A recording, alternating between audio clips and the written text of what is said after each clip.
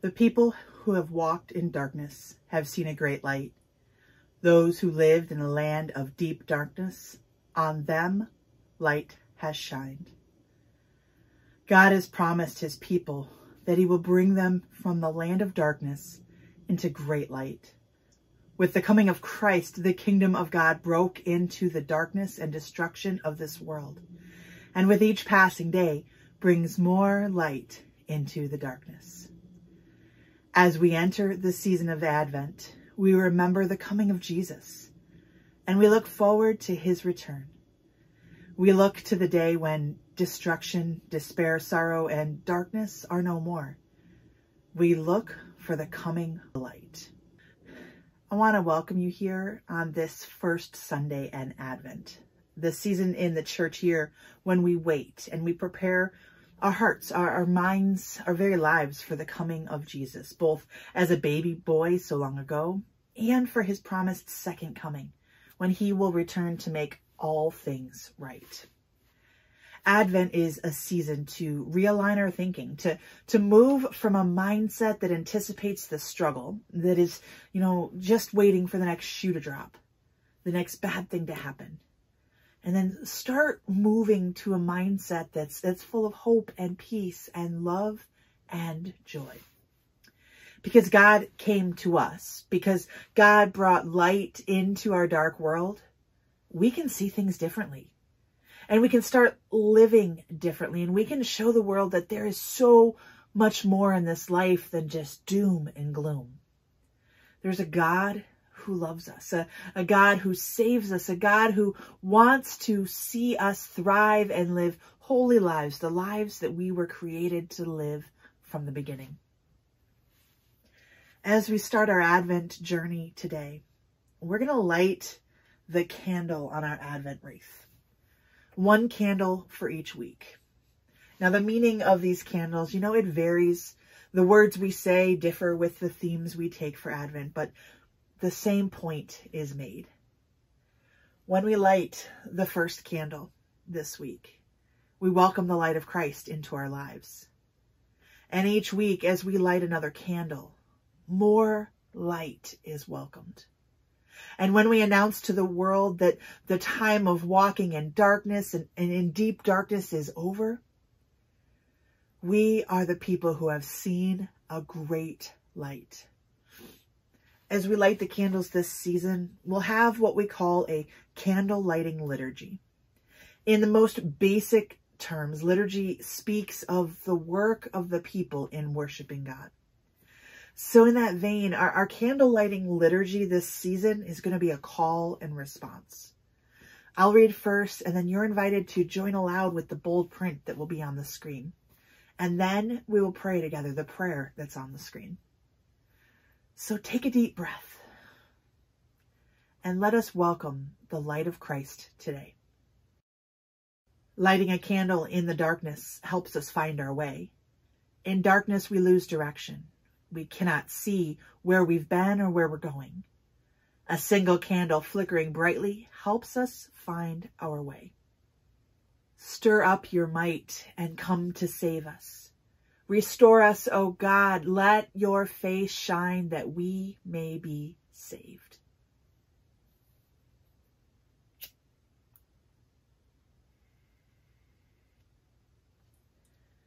Light one candle, see it glow brightly so that all may know how one candle shows the way, making our darkness bright as God's day.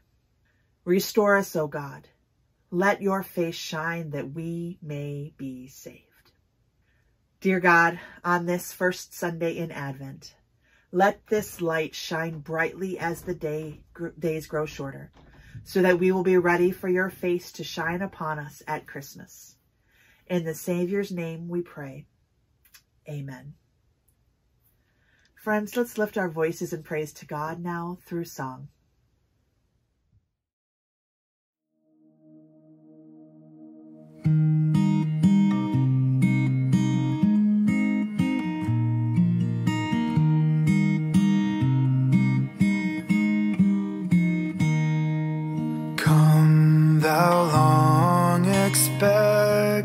Jesus, born to set thy people free from our fears and sins. Release us, let us find our rest in thee. Is our strength and calm.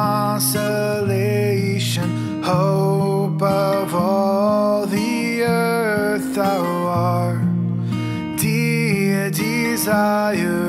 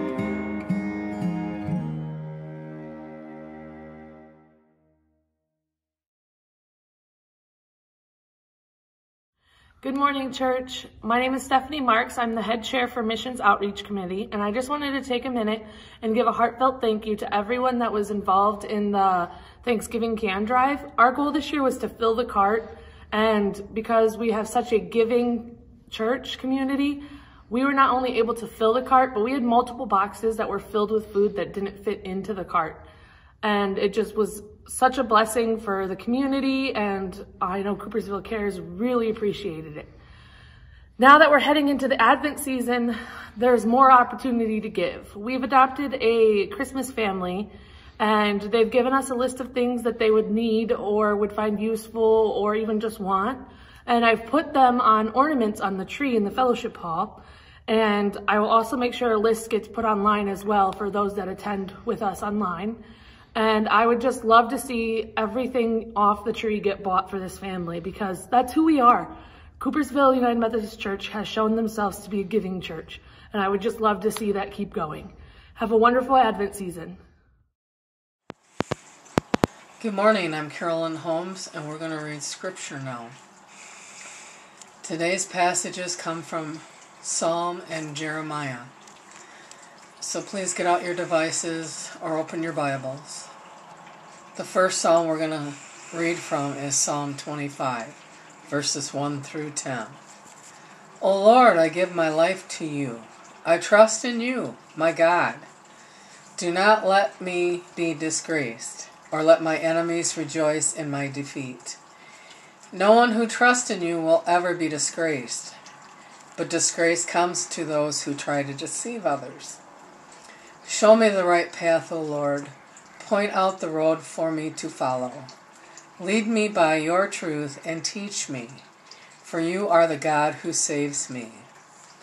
All day long I put my hope in you. Remember, O Lord, your compassion and unfailing love, which you have shown from long ages past. Do not remember the rebellious sins of my youth. Remember me in the light of your unfailing love, for you are merciful, O Lord. The Lord is good and does what is right. He shows the proper paths to those who go astray. He leads the humble in doing right, teaching them his way. The Lord leads all unfailing love and faithfulness, all who keep his covenant and who, who obey his demands. Jeremiah 33, verses 14 through 16. The day will come, says the Lord, when I will do for Israel and Judah all the good things I have promised them. In those days and at that time, I will raise up a righteous descendant from King David's line. He will do what is just and right throughout the land. In that day, Judah will be saved, and Jerusalem will live in safety. And this will be its name The Lord is our righteousness. This is the word of God for the people of God. Thanks be to God. Amen.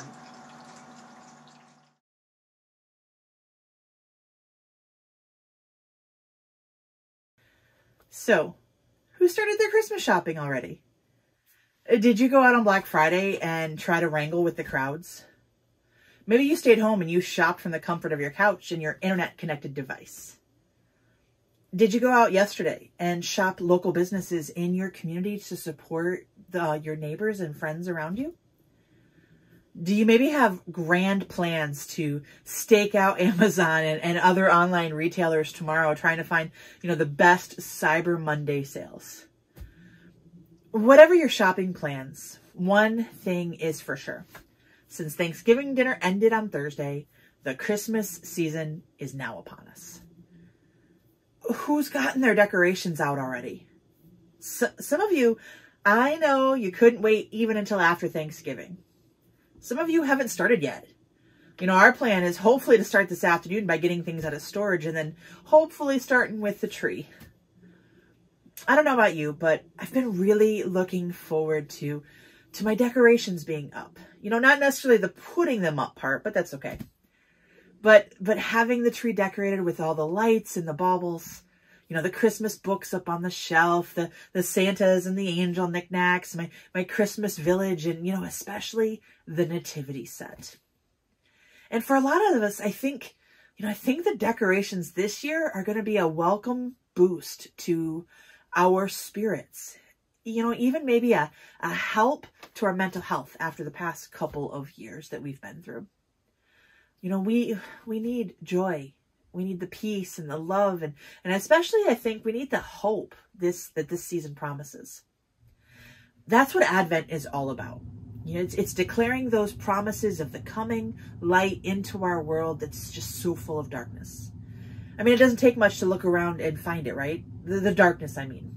It, it, seems to be everywhere. Yesterday morning, as I, I sat to finish this message, I, I was scrolling through Facebook and then, you know, a couple of news sites and, and it was there you know, stories of darkness, of of murder, more more sickness, new new variants that promise more danger, uh, more fear, more political corruption and egotism. I mean, even more pain and suffering all around.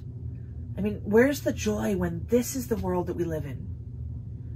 And honestly, we don't we don't have to look there to find the struggles either, do we? I mean, for many of us, it rests right in our own homes, in our own lives.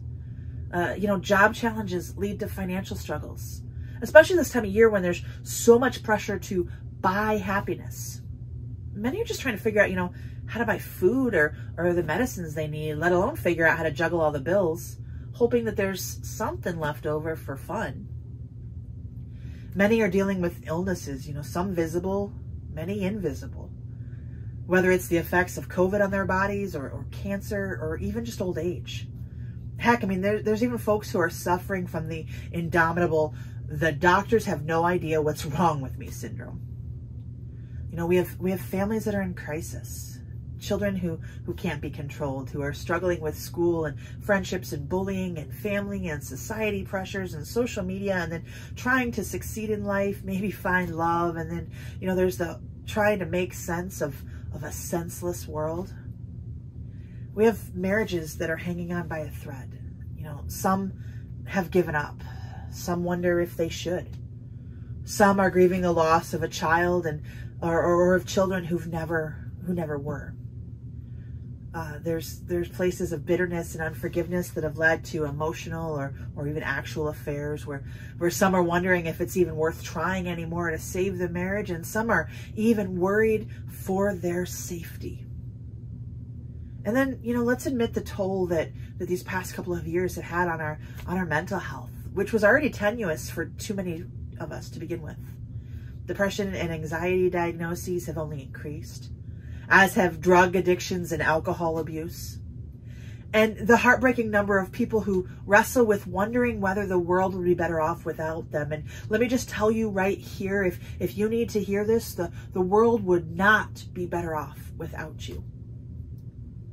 You know, how are we supposed to enjoy this season, let alone the reason for this season, when we're so encumbered by the fear of what horrible thing will come next? the debilitating anxiety of, of having to decide what to do now and, and the overwhelming dread of another day, another news cycle, yet another tragedy. In a world like this, you know, some are tempted to ask, hey, what's the point of the baby Jesus?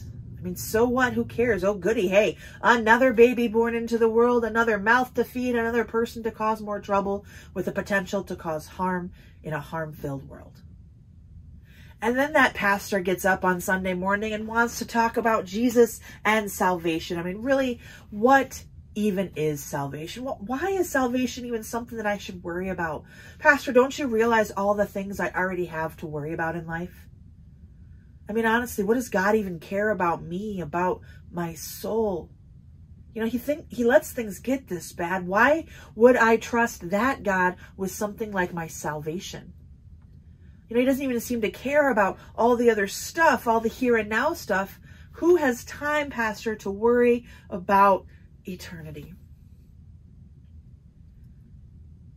You know, some of you might also be thinking, hey, Pastor, you're preaching to the choir. You know, we know all about salvation. We know about the baby Jesus. In fact, hey, we love the baby Jesus. Why are you hashing our, harshing our mood this Christmas? didn't you just tell us that we need some hope and joy and all that? Well, you know, yeah, for some of you, I am preaching to the choir. You may know all this, and hey, that's great.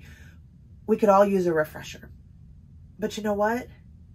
There may just be folks right here with us today who aren't in the same place as you are with all of this. There are people who are struggling to understand why the world is the way it is and why God doesn't seem to do anything about it.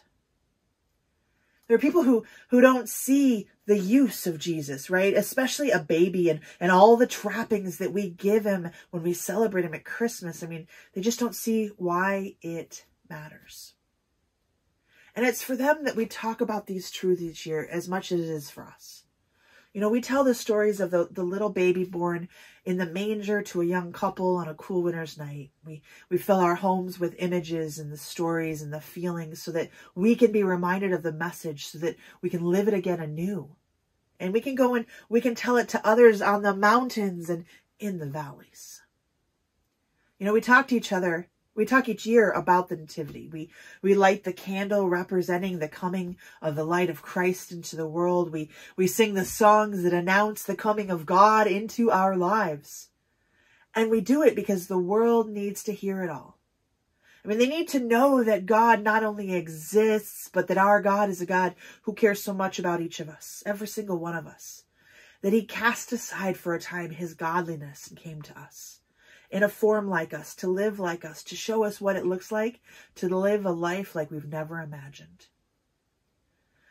God, through the prophet Jeremiah, announced to the world that there would be a day when God would fulfill his promises that he'd given to the people, to Israel and to Judah, those those people who lived in the land.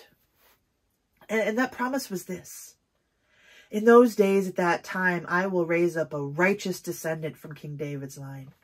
He'll do what is just and right throughout the land. In that day, Judah will be saved and Jerusalem will live in safety. And this will be its name. Yahweh Tzidkenu. The Lord is our righteousness. Righteousness, justice, safety, what's right, saved. I mean, this is the promise of God to his people. There will come a time when the evil of the world and the injustice, the danger, the wrong, the destruction when it all be replaced with justice and safety and righteousness and salvation.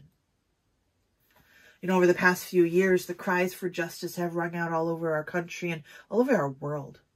People long for justice to be seen, for, for those who do wrong to be punished, and for the victims of evil to be redeemed.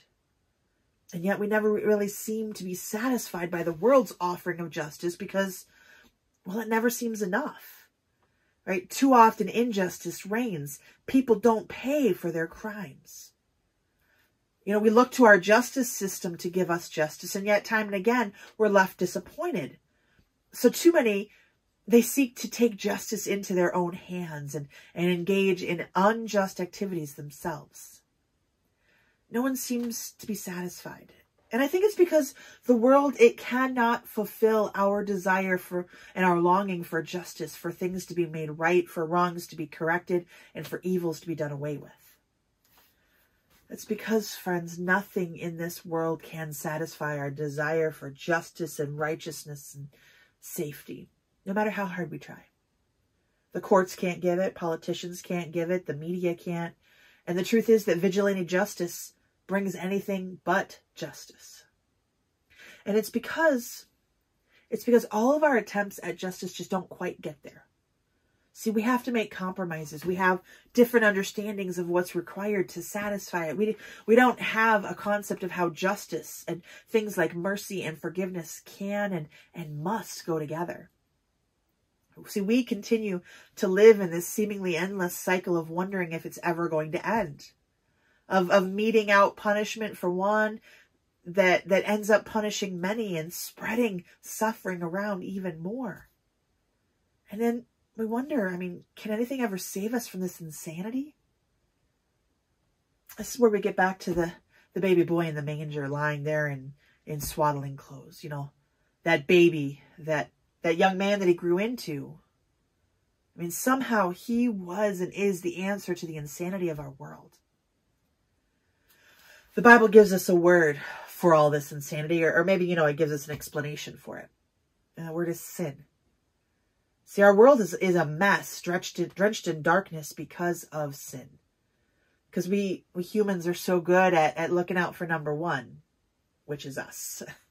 We're, we're so focused on doing what benefits us that we lose sight of, of others. We, we do the things that help us, that make us comfortable, that bring us pleasure, that save us work, that save us money, that save us frustration or time or energy or, or compassion biblically speaking, sin is violating God's laws. It's, it's doing the things that God has instructed us not to do. Now, I'm not talking about rules like, you know, don't wear white after Labor Day or don't put up your Christmas decorations until the turkey is cold, though some might consider those things sins. I'm, I'm talking about things that God says we as humans shouldn't do, like stealing or cheating or lying, uh, gossiping, committing adultery, lusting after another person, um, letting greed and pride motivate our actions, or being controlled by our anger, you know, willfully harming others or murdering others. I mean, there are lists, lots of them actually. There are plenty of parameters that God has given us to, to live our lives within, you know, rules or, or commands that help us care for each other and not harm one another. And, and there's a lot of them. I mean, in fact, Jesus summed all of them up in two commands. You know, the two greatest commands, he said. You remember what they are? He said, you must love the Lord your God with all your heart, with all your soul, and with all your mind. And the second is just as important. You must love your neighbor as yourself. All of the law and the prophets are based on these two commandments. So that sums it up. I mean, love God and love others. Just think about how different our world would be if, if those were our guiding principles. Everything you do must, must be to show love to others. I mean, real love. Not that, that flighty hallmark love that gets pandered around, but, but real love, love that's, that's willing to sacrifice for others, love that says, I care for you more than myself. I'll, I'll do whatever is needed to, to bless you, to care for you, to give my life for you. Now, according to the world, that's real insanity. Living our lives not focused on our lives, but, but on God and on others. This is nonsense. But see, that's the message that the little baby Jesus came to bring. Salvation into ju- salvation leads to injustice. Or sorry, sorry. Salvation brought into injustice and death. Hope brought into despair. Joy brought into sorrow. Peace brought into our war.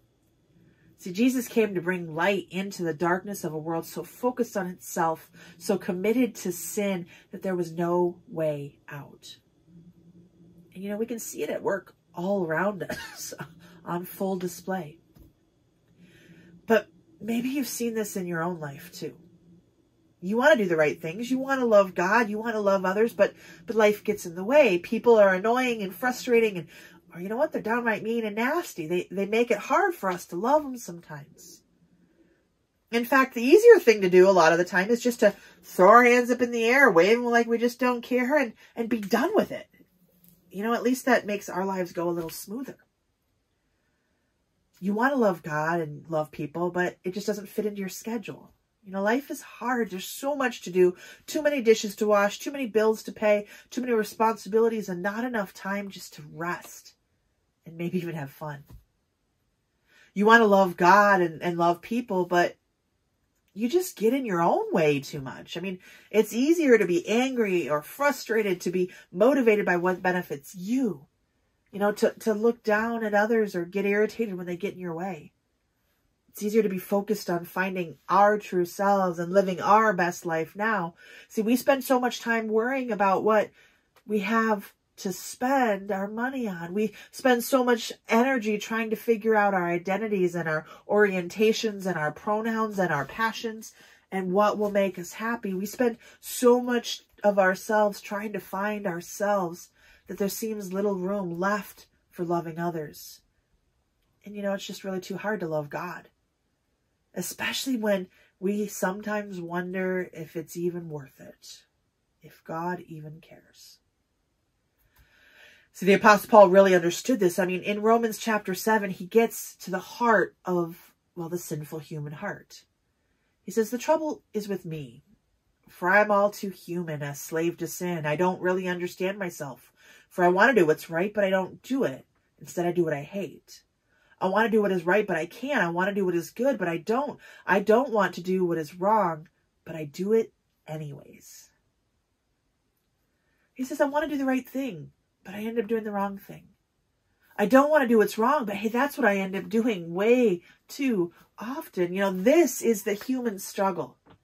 It's the struggle with sin, the struggle that no matter how hard we try, we just can't break out of our own mess. And that's why we have the baby Jesus. Because sin's too great for us to defeat. We needed more. We needed a hero, you know, one that's fast and strong and sure and larger than life. If you know what song I just referenced there, hey, put it in the comments below. I'm still singing it. we needed God to step into this mess because we can't break free from it ourselves. And God knew it. God saw it and it broke God's heart. So he came to us. God came to save us from ourselves. And to do that, God did an amazing thing, okay? The eternal God of the universe, the God who spoke all things into existence, the God who exists in this not fully understandable Trinity relationship of Father, Son, and Spirit. God the Father committed to sending God the Son to earth by and full of the power of God the Spirit to be born as a human to live a life just like we do with, with all the mess and all the pain, and yet to live in a way that shows us there's something better. That there's more than the endless cycle of doing what we hate and not doing what is right. See, Jesus himself, he revealed to us why he came. He said the Son, Son of Man, which is a title that Jesus used for himself, he said the Son of Man came to seek and to save those who are lost. Jesus came to save. He came to save sinners like me and sinners like you. I mean, that baby in that manger was there because of our sin, and he came to save us from it. He came to show us that sin is not the only way to live, that selfishness and pride and arrogance and greed and, and lust and all of those other things, that that's not the only way we can live. That there's something better See, he came to save us from ourselves, from the destruction that we are so prone to engage in.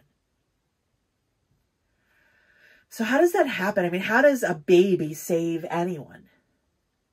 Well, you know, just like the rest of us, babies grow up into kids, and then kids grow up into adults.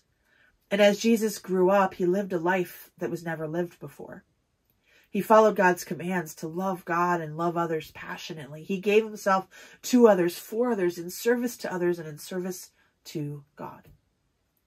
He taught God's words and, and God's ways in ways that hadn't been taught before. He, he revealed the heart of God to a people that had turned their hearts away from God. See, he loved those we hated. He loved, you know, even us. He loved us so much that he painted a picture of a life without sin for us. He showed us what life was really meant to be like, you know, connected with God, in relationship with others, giving and sharing and forgiving and blessing. And then he called us to believe in him, to, to believe that message that he brought and that God that he was.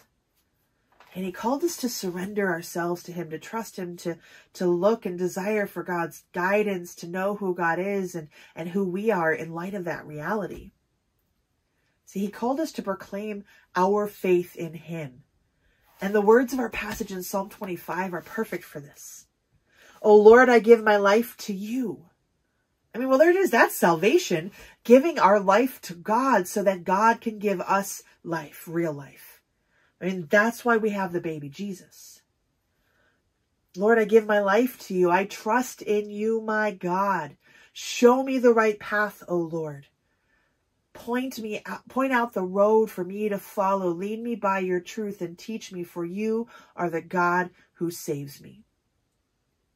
When we look at the baby Jesus lying in there in our nativity mangers, this is what we should see. Not a baby that warms our hearts, but a God who saves them who saves us. He says, All day long I put my hope in you. Remember, O Lord, your compassion and your unfailing love, which you've shown from long ages past. Don't remember the rebellious sins of my youth, remembering in the light of your unfailing love, for you are merciful, O Lord. You know, I, I know that the world cries out for justice, but, but what if you were accused standing before the judge? Would you demand justice in that moment or would you cry out for mercy and forgiveness? See, the Bible teaches us that our sins have very real consequences and major consequences. In fact, our sins, our, our breaking of the law, our rebellion against God has one outcome, death. And, and I'm not just talking like death of our physical bodies, but, but the death of our connection with God.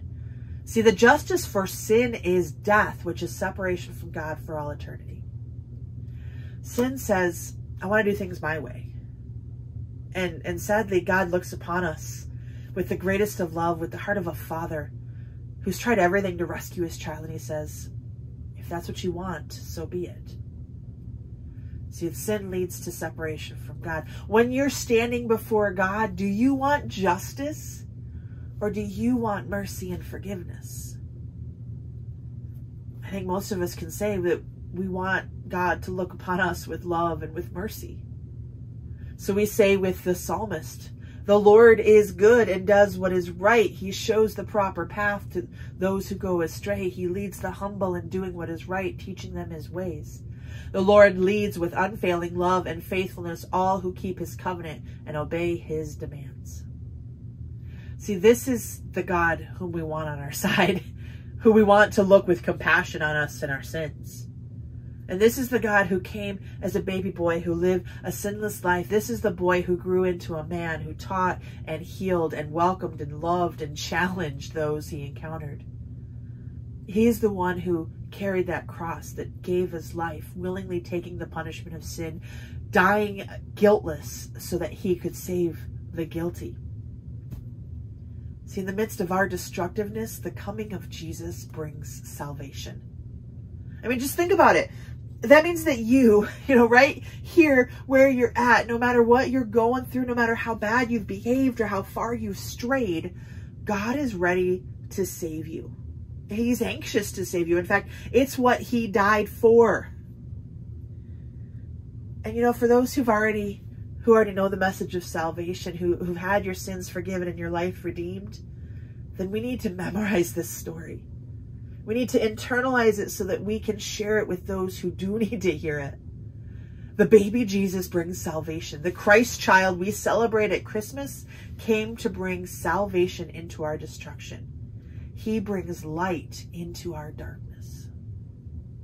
This Advent season, each of us, we need to learn and learn again who Jesus is, why God came the way he did, and why it all matters anyway.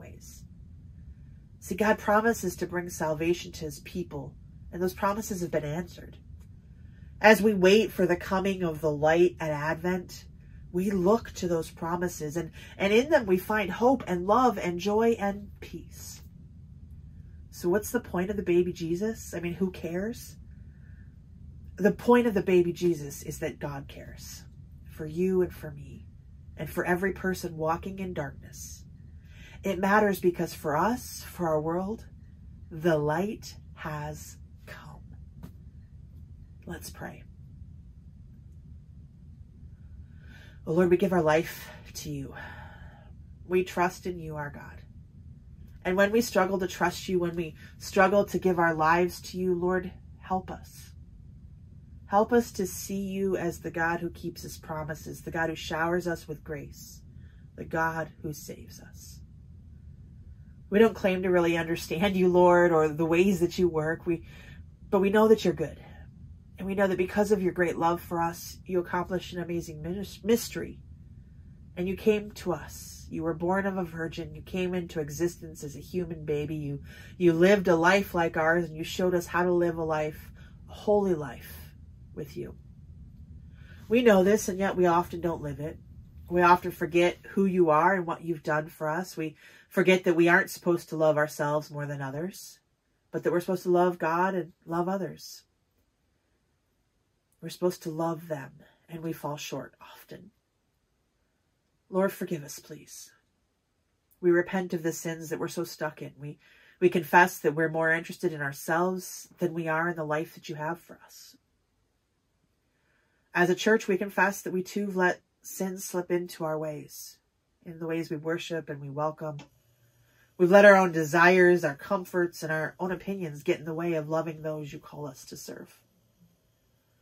Lord, we want to know the baby Jesus. We want to know the Christ child. We want to know the God incarnate, God in human flesh. We want to know you and your unfailing love and compassion. And we want to share that message with those around us. We, we want to be a church that shows the world why Jesus is so important. We want to show the world how the light of Christ shines in the darkness of our world. And we want to see the light cast out all the evil, the darkness, the pain, and the suffering. Father God, we, we pray today for one another. We pray for those who are in pain. Bring your healing, Lord, in ways that nothing else can. We pray for those who are grieving. Give them comfort, Lord. We pray for the hungry, the lonely, the, the scared, and those in need. Lord, use your church to meet the needs of our neighbors. Give us creativity and courage to go out and to be Jesus to people, to welcome and clothe and heal and show compassion and share your love with them. Lord, and raise up your church to do the same thing here in Coopersville, in every home, in every community, and in every nation throughout this world. May your light cast out all darkness. And Father, hear us now as we pray the way that Jesus himself taught us to pray. Our Father, who art in heaven, hallowed be thy name. Thy kingdom come, thy will be done, on earth as it is in heaven. Give us this day our daily bread and forgive us our trespasses, as we forgive those who trespass against us. And lead us not into temptation, but deliver us from evil. For thine is the kingdom, and the power, and the glory forever. Amen. Go tell it on the mountain, over the hills and everywhere. Go tell it on the mountain that Jesus Christ is born. While shepherds kept their watching over silent flocks by night, behold, throughout the heavens there shone a holy light. Go tell it on the mountain,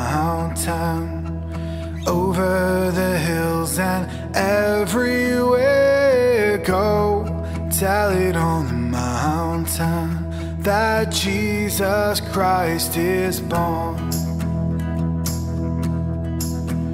The shepherds feared and trembled when low above the earth rang out the angel chorus that hailed the Savior's birth. Go tell it on the mountain, over the hills and everywhere. Go tell it on the mountain that Jesus Christ is born. Down in a lowly manger, the humble Christ was born. And God sent us salvation that blessed Christmas morn. Go tell it on the mountain, over the hills and everywhere. Go tell it on the mountain that Jesus Christ is born. Go tell it on the mountain, over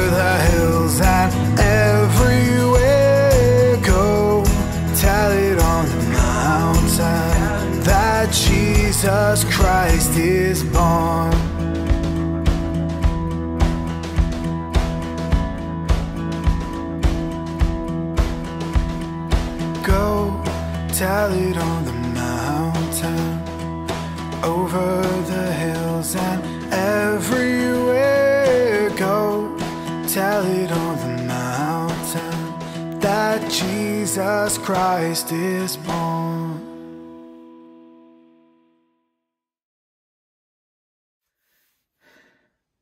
As we close out our first worship service in this season of Advent, I'd like to encourage you to go to our website at coopersvilleumc.org today and do a few things.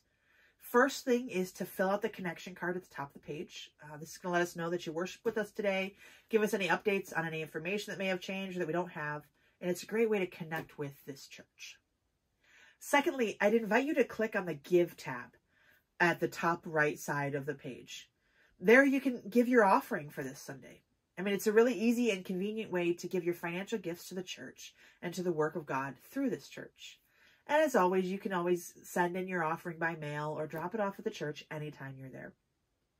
Now, this offering is something we do each and every week.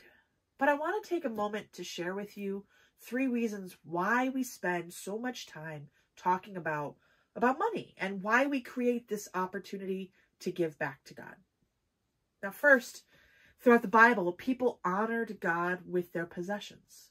In the very beginning of the Bible, in the book of Genesis, we see many times, many instances of people giving offerings to God.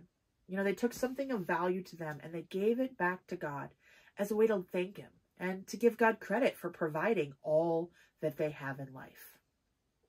The second reason we give or we we do offering is because it, it giving changes our hearts. The mission of the church is to be disciples who seek God and serve people in order to make more disciples. Nothing puts us in that position more than loosening our grip on the stuff that's valuable to us. When we let go of stuff, including our finances, we make space for God. We trust Him more and we experience closeness with Him. And the third reason for our offerings each week is giving fuels the church. You know, as the church began, believers brought what they had to the church. And the church then used it to do the work of ministry. You know, these days, a, lot of people might hesitate to give because they've seen how some churches have mismanaged money. We want you to know that we get it. Okay. In fact, that's why we have so many checks and balances to ensure that when you give, we'll handle it well and we'll use your gifts to further God's kingdom and do his work. Our vision as a church is big and we need resources to accomplish it. We believe that the local church is the hope of the world. And because of that, we use this time each week to help the church accomplish a lot for his kingdom. That's why we do offering. Today, as we receive it, let's focus on that first reason to give, to honor God with everything we have. It's a way to recognize that all the good things, that all good things come from God. And like I said earlier, you can give online, you can give by mail or in person. Thank you for giving and for trusting this church with your gifts, for allowing your giving to change your heart, and for honoring God with all you are and all you have. Thank you. And just a couple of announcements for you today. Uh, please, please be praying this week for our artificial Christmas tree farm event that's happening this coming Saturday, December 4th at our church building in Coopersville. We're welcoming families with special needs and any family in need to come on out and have a wonderful time hunting for a perfect Christmas tree, getting decorations and, and just having a lot of fun. If you've donated to the event, thank you so much. We couldn't do it without you. And if you've signed up to volunteer, please double check your times and make sure to bring your, your best holiday cheer as we seek to help families in need make wonderful memories this year. And most of all, pray that through this event, these families may know that they are loved by God most of all. Also, starting December 1st, we're asking our church to join together in 30 days of prayer. We've put together an all church prayer calendar that you can find on our website. It'll be on our Facebook page each day in December as well. Our church leadership has, has already been praying through this calendar for our church, and now we'd like to invite you to join us in covering our church in prayer, seeking God's guidance and wisdom and blessings as we seek to continue serving God in our world into this next year. So please join us in praying. Thank you so much for, for joining us today for worship. Be sure to, to come back next week and for the rest of Advent as we continue looking at how the light of Christ has come into the darkness of this world. Next week, we'll, we'll see how Jesus brings hope into the midst of our despair. You know, make sure you invite someone to church next week, whether it's online or in person. Uh, like and share our worship service on social media and help us get the message out to even more people. Last week, our viewership just by sharing the services on Facebook over doubled. So, so keep up the sharing, please. As we leave this time of worship today, I want to give you this blessing from Isaiah 35. Go from here with confidence and hope. Strengthen those who are tired and exhausted. Comfort those who are anxious and fearful. Say to them, Be strong and do not fear for God is coming. Indeed, God is already here. Brothers and sisters, amen. Go in peace today.